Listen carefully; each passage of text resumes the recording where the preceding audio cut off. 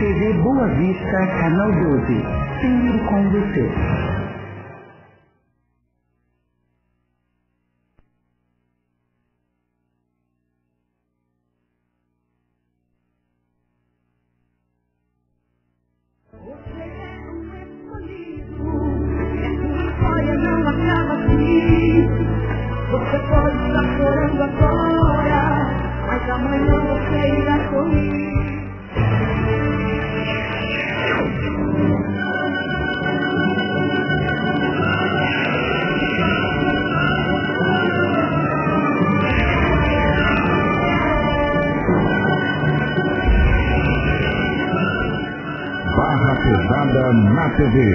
Isaías Maia.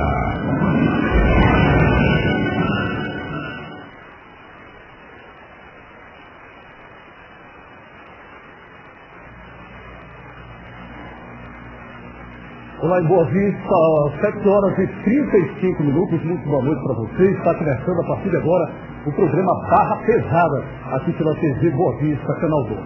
Meu nome é Anderson Alves e até as 9, 9 e meia será? É isso, até as 9 e meia vamos ficar juntos aqui, tá levando as principais notícias, até as 9, né? As principais notícias de hoje que foram destaques aí no final de semana, as ocorrências policiais, tá bom? Barra Pesada tem um oferecimento todo especial de socorro ervas, ponto das antenas, Tingal Tintas, Retífica Boa Vista e Manaus, máquinas e equipamentos. Tá bom? Hoje é segunda-feira, 11 de julho de 2016. Conto com a sua participação, tá? Você pode... Cadê o telefone da mensagem, Alma Penada? O Isaías, mas o que aconteceu com ele? Parece que ele foi para um forró esse final de semana, dançou forró tantas vezes que ficou entrevado.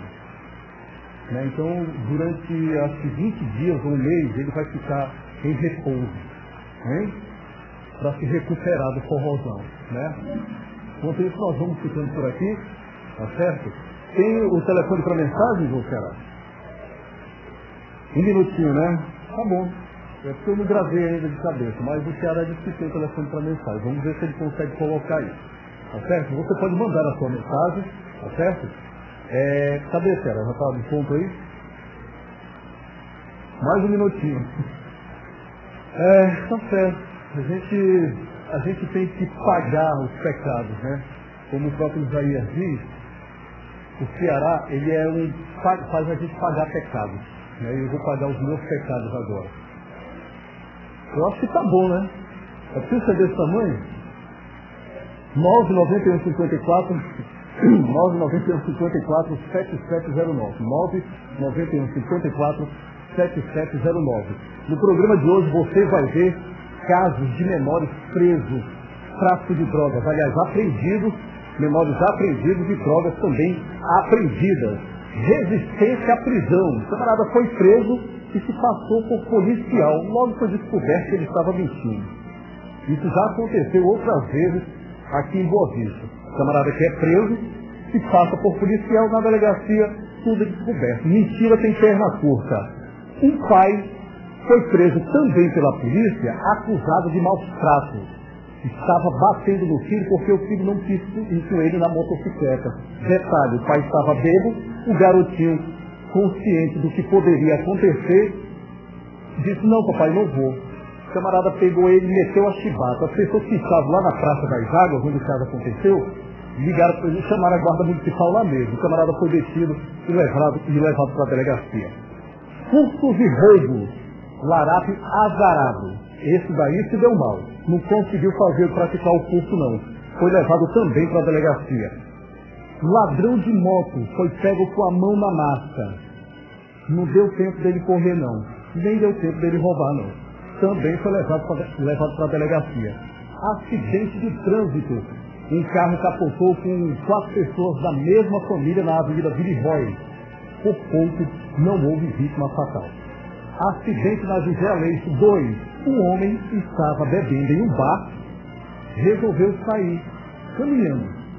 Um casal de motocicleta que passava na rua José Aleixo colheu esse rapaz, bateu violentamente nesse rapaz.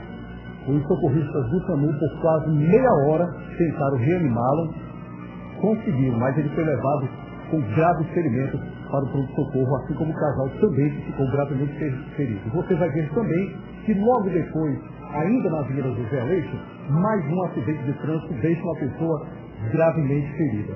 E tentativa de roubo. Olha só a situação. Um camarada, né? Aqui na câmera 1, Ceará, por favor. Preste atenção aí. Um camarada que estava de motocicleta, um jovem. Acho que deveria ter seus 18, deve ter seus 18, 19 anos de idade. Pegou uma motocicleta, que provavelmente tem a restrição de roubo e furto, estava passando na frente de uma residência.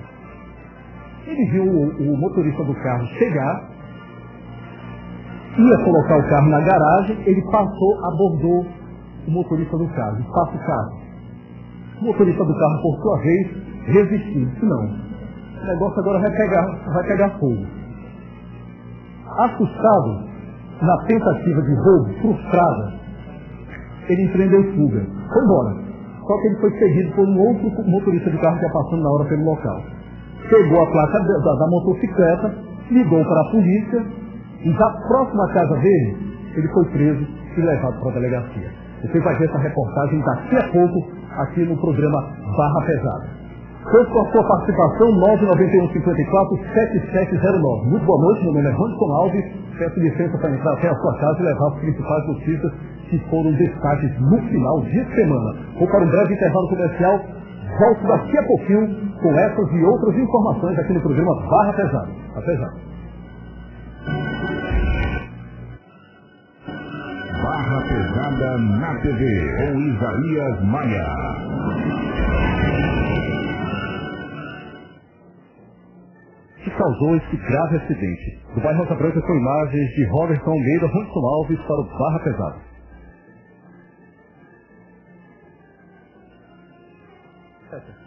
É, ficou com as duas rodas para cima. Eu não consegui entender isso aí não. Mas graças a Deus não foi nada tão grave, né?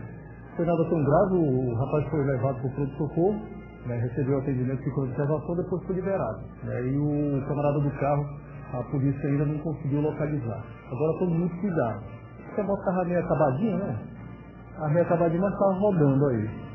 O camarada ficou um prejuízo aí. Vai ter que recuperar a motocicleta aí, tem que comprar as carenagens e repor na, na moto, né? Agora muito cuidado, gente. Principalmente quem anda de motocicleta na cidade, muito cuidado, porque tem motorista de carro que não respeita, parece que tem ódio de quem anda de motocicleta por conta de meia dúzia que anda fazendo presepada no trânsito, né?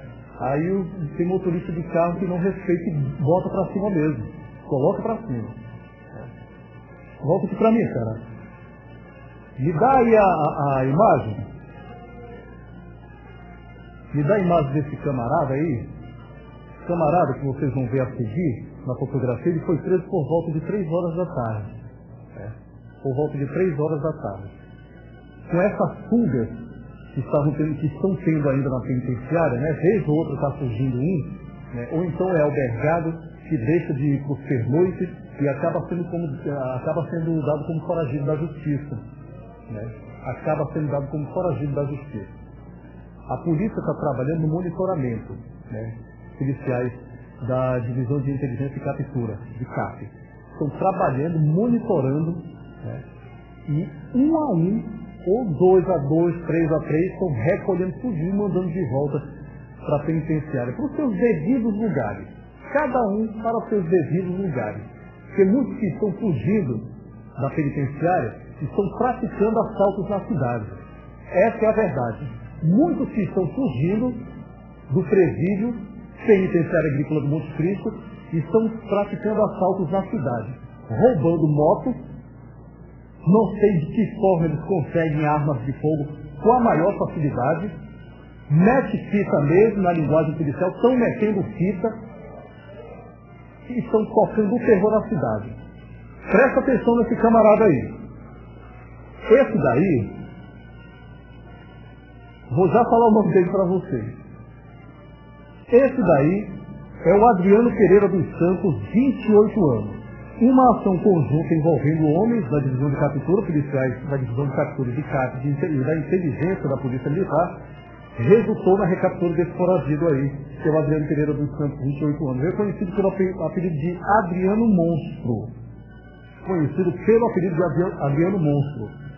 A informação da Ducati é que a prisão dele ocorreu no início da tarde de hoje, lá no bairro Nova Canaã, zona oeste da capital. A localização do foragido foi, só foi possível graças ao recebimento de denúncia anônima. E durante as buscas, a polícia encontrou ainda esse revólver calibre 38 com três munições intactas e uma munição de calibre 20. De calibre 20. Havia ainda a informação de que esse, o monstro aí né, acusado de cometer vários roubos na cidade, aqui na capital. É, foi como eu falei agora. Ele está foragido da, do sistema prisional desde o dia 29 de fevereiro deste ano. Ele cumpria a pena pelo crime de tráfico de drogas, artigo 33. No dia 18 de agosto do ano passado, ele e outras sete pessoas foram presas em uma ação coordenada pela Delegacia de Repressão Entorpecente e Departamento de Narcóticos, o DENARC. Todos os presos foram acusados pelos crimes de tráfico de drogas, formação de quadrilha, uso de, de roubo e posse irregular de arma. E, nesse exato momento, o foragido está sendo apresentado às autoridades lá no plantão do 4 Distrito Policial daqui a pouco, né, se já não foi, vai descer lá para a penitenciária agrícola do Monte Cristo. Agora olha a arma aí, parece que está meio enferrujada essa arma, né? Aí do lado é, é uma, uma, uma munição de calibre 20, né, que faz um estrago danado. Se der no peito de um camarada desse daí, meu irmão, é pedaço de, de, de é pedaço de camarada para todo lado. E umas três munições estavam nesse revólver calibre 38. O camarada quando mete uma arma na cintura, né, mal encarado do jeito que é esse daí, certamente ele não vai fazer boa coisa não. Certamente não vai fazer boa coisa. Graças à ação do trabalho dos policiais da DICAP, meu querido Rony Cruz, grande abraço a você, chefe da divisão de capturas e inteligência, está trabalhando aí no monitoramento 24 horas para colocar de volta atrás das grades criminosos como esses aí, que eu não metendo fica na cidade aí. Ando roubando, assaltando e matando pais, trabalhadores, mães e pais de família. Tá aí, ó. Alessandro Pereira dos Santos, 28 anos, conhecido pelo apelido de monstro, né? E é muito importante, gente, muito importante que você faça a denúncia, ajude a polícia a colocar de volta atrás das grades criminosos perigosos como esses aí. Não custa nada você ligar, não há necessidade nenhuma de você se identificar. Ah, eu sou falando de tal, moro na rua tal, no bairro tal. Não, não é preciso se identificar. Ah, não quero ligar do, do celular porque meu número vai ficar registrado. Então vai no orelhão, né? Liga 0800 0895 mil da Polícia Militar. 0800 95 mil, a ligação é de graça, então você liga o 190 da Polícia Militar. Informe o paradeiro do foragido. Ah, está numa atitude suspeita, suspeita? Beleza. Liga para a polícia. Vamos ajudar a polícia a colocar de volta atrás das grades esses criminosos. Tá bom? Bom o programa, será? Hein? 8, 9 horas e 7 minutos. Muito obrigado pela sua audiência. O Ceará tá gaiato, né? Vamos já conversar, tá? Vou só encerrar o programa aqui. Amanhã eu volto a partir das sete e meia da noite com mais um programa Barra Pesada. Pesada, muito obrigado pela sua audiência. Conto com você amanhã. Amanhã, sua audiência certamente é válida aqui para todos nós. Tchau, pessoal. Até lá.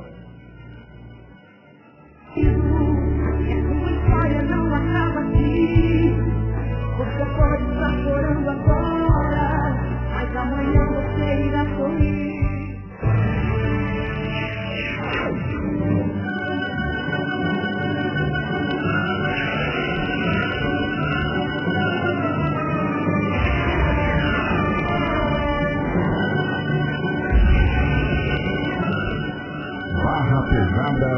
TV, com Isaías Maia.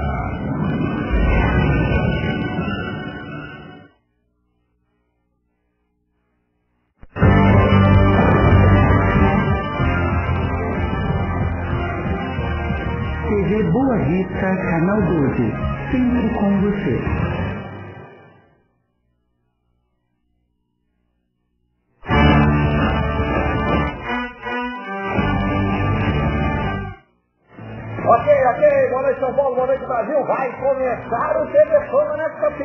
Boa semana pra todo mundo, boa noite Brasil. Nove e meia da noite, ao vivaço pra você agora, hein? Vamos que vamos. Lá vem a bomba da noite. Famoso cantor anda planejando o próprio funeral.